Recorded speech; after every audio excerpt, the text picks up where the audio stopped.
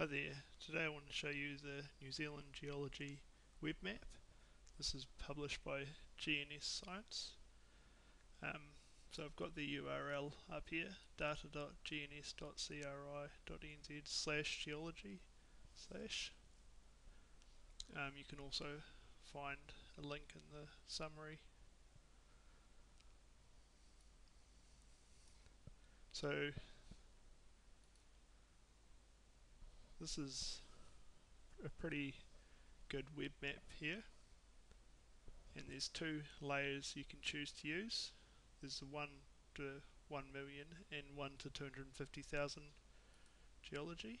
So if you switch between those um, by clicking on the radio buttons there.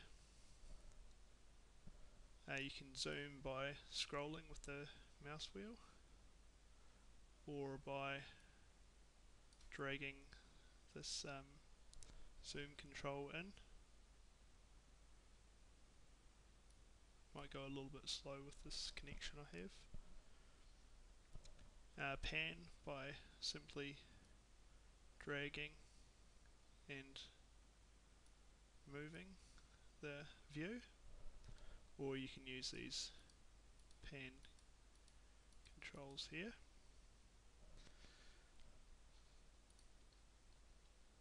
The left hand side we have this layer menu. And items in here are listed by drawing order. So you can see that only faults geological boundaries and geological units are displayed by default. So you can add other ones on by um, checking the box there. You notice that doesn't actually bring it up on the screen because all these grayed out items uh, won't be displayed until I zoom in. So if I zoom in to about here, we've got um, faults being displayed. You see them just coming on there.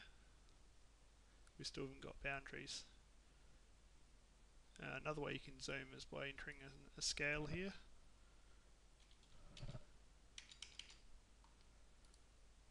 That'll only um, when this zooms it'll it has to be in certain steps. So it'll just go it'll zoom out to the most appropriate step.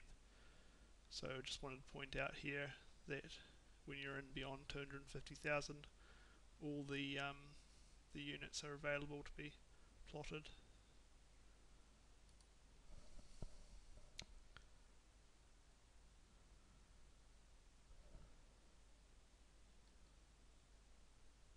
So you can see that all units are opaque by default.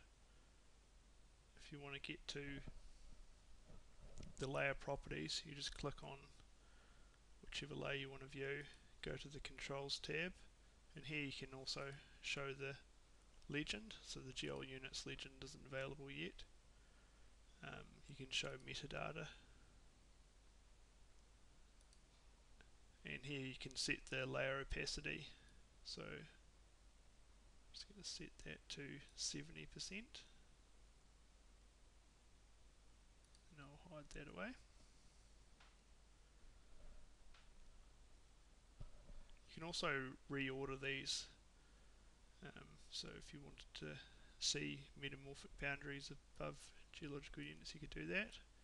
And then to um, bring it back to the default view, you can just simply reload the page, refresh the browser. So if we want to view topo and geology, you can actually set different um, background layers.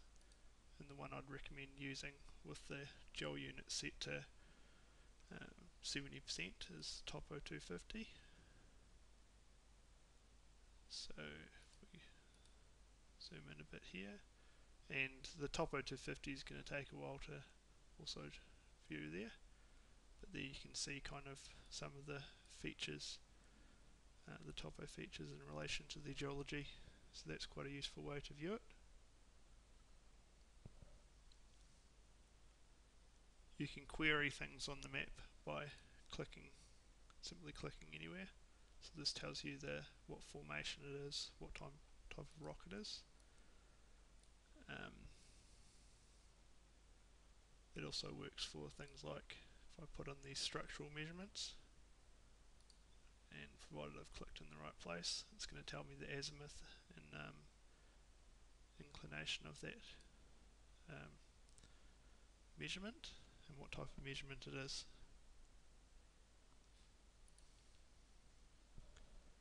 Uh, there's one last thing I want to show you. Once you've kind of got this set up the way you like it, you can enter this full screen mode, and that just hides that hides that um, brings it up into full screen and hides that layer menu.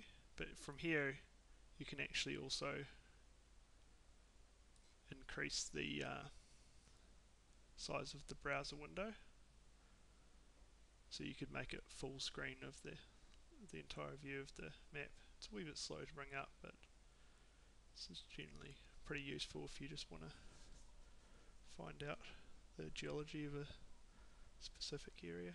Thanks very much.